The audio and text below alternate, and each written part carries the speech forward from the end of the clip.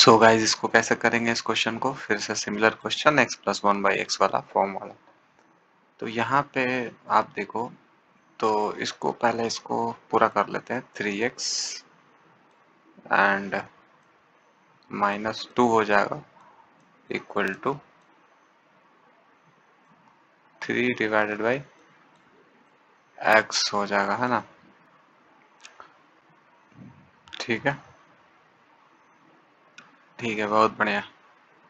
यहाँ पे अगर देखें हम तो three X minus three by X and equal to two हो जाएगा। हो जाएगा ना? अगर थ्री कॉमन ले लें तो ओ, क्या हो जाएगा? थ्री कॉमन ले लें तो X minus one by X हो जाएगा है ना? और इज़ इक्वल टू टू हो जाएगा तो X minus one by X is equal to क्या हो जाएगा?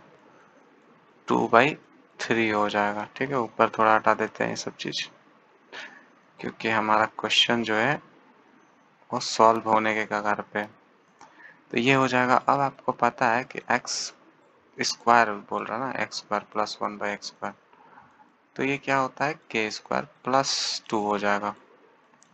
प्लस टू हो जाएगा। माइनस टू नहीं होगा, क्योंकि जो साइन है, वो चेंज हो गया। अब आप इसका स्क्वायर करोगे तो माइनस टू आएगा ना।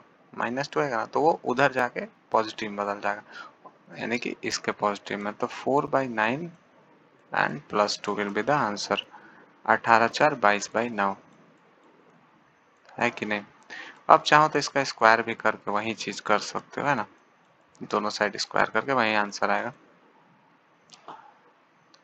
तो और देखते हैं इस टाइप का क्वेश्चन इस फॉर्म वाला क्वेश्चन क्योंकि यही एग्ज़ाम में पूछ जाता है, यही ट्रेंड में।